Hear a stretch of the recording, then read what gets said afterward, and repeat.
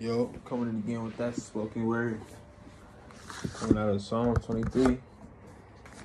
Holy Spirit, go before me. I thank you, God, for another day and many more days. Take captive every thought of God, doubt, or question in any way, shape, or form, God. I give it all to you. I thank you in advance. A Psalm of David. The Lord is my shepherd. I shall not want. He maketh me to lie down in green pastures. He leadeth me beside the still waters.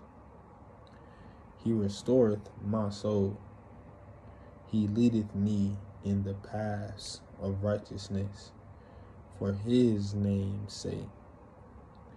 Yea, though I walk through the valley of the shadow of death, I will fear no evil. For thou art with me. Thy rod and thy staff, they comfort me. Thou preparest a table before me in the presence of mine enemies. Thou anointest my head with oil, my cup runneth over.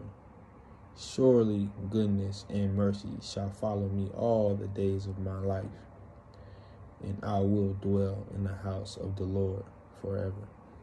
Amen.